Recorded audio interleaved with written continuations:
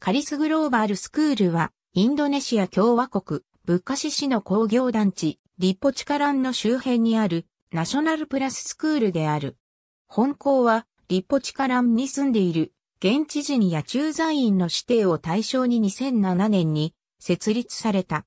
教育課程は、保育園、幼稚園、プライマリーレベルによって構成されており、2016年よりセカンダリーレベルも増設されている。子供の通う学校の生徒ほとんどが現地人、日本人、韓国人、中国人、マレーシア人、インド人等非英語ネイティブスピーカーで構成されている。現在、約77名のスタッフのうち、55名が英語専攻の教員からなっている。2007年に幼稚園開校後、本校は急速に成長した。学校名で国際との言葉の使用禁止というインドネシア政府の新規制に準拠をおり、2009年にキャリスグローバルインターナショナルスクールからキャリスグローバルスクールに名称を変更した。リポチカランコミュニティのニーズを満たすため、本校は2016年にセカンダリープログラムを増設した。本校は英語やインドネシア語を基礎とした教育をし、ナショナルカリキュラムとシンガポール教育カリキュラムを採用している。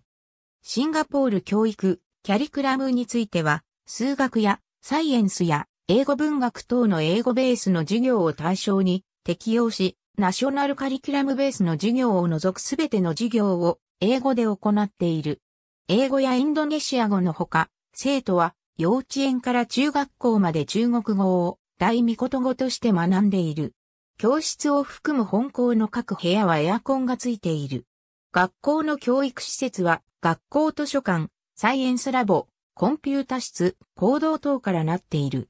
体育については、リポチカランが所有しているプールやスポーツ施設を利用している。なお、セキュリティを確保するため、多数の防犯カメラは校舎に設置してある。